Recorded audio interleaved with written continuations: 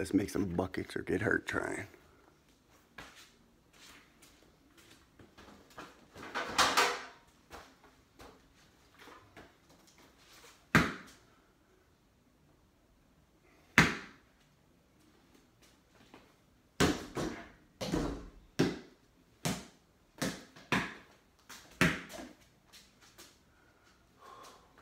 Sure.